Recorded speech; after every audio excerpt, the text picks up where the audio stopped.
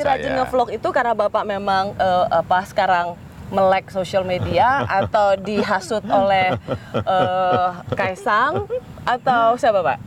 Ya, ya, kita ini kan sudah lama ya, sudah mungkin lebih dari 10 tahun apa main apa pertama main Facebook, Bapak main Facebook ya, kemudian iya ya, Masa? Twitter, kemudian masuk ke Instagram, kemudian terakhir main video blog. Jadi ya memang ketularan sama eh, Kaisang. Mm-mm, kan? Setelah setelah dia menunjukkan ke saya vlog